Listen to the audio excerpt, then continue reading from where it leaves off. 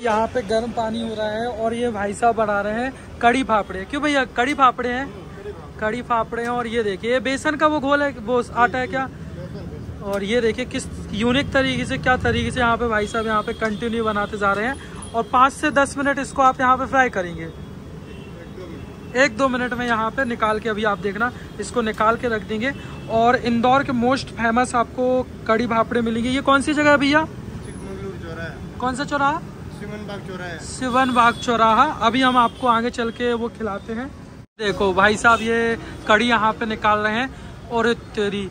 ये एक ही बार बनती है इतनी सारी कड़ी? दो तीन बार एक दिन में। ये देखिए भैया, दो तीन बार एक दिन में यहाँ पे कड़ी बन जाती है। यहाँ पे सारी चीज़ें यहाँ पे रखी हुई है और पूरी तैयारी। यहाँ से भी निकलती है कड़ी? अच्छा आग, भट्टी है भट्टी है। ये देखो भाई साहब, इतनी सारी कड़ी यहाँ पे बन के रखी हुई है। अब इसको भाई साहब चला रहे हैं, ये देखिए, क्या बात है। हमें दो दुकानें देखने के लिए मिलती है, हम कोई भी दुकान में यहाँ पे चले जाते हैं। अब भाई साहब, यहाँ पे सबसे पहले लोग यहाँ पे बैठे हुए हैं खाने के लिए लाइन से, ये देख सकते हैं। तो भाई देखिए, इस तरह से भैया ने यहाँ पे पैक कर दिए और सभी लोग यहाँ पे खाने के लिए यहाँ पे जो पापड़े हैं, बहुत ही फ़ेमस है मोस्ट लोग बैठे हुए हैं। ये बना के पूरी पापड़ी है, क्या पापड़ी है? अच्छा पापड़े और ये कड़ी अच्छा। भैया कड़ी पापड़ी देंगे। देखिए अब हमारी यहाँ पे भैया ने कड़ी पहले पे पापड़ी लगाते भैया? पापड़ा लगाते पहले। अच्छा पापड़ा है ये देखिए।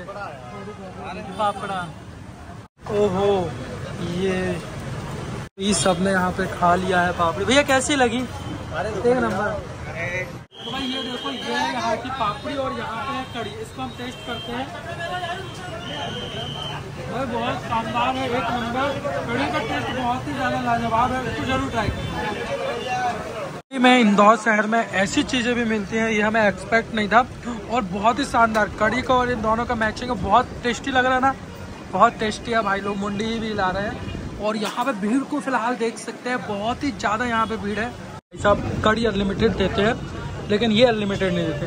गाड़ी पीना चाहें तो पी सकते हैं बट पेट खराब हो जाएगा। ये यहाँ पे चिमन बाग चौराहा में आपको ये खाने मिल जाएगा। क्या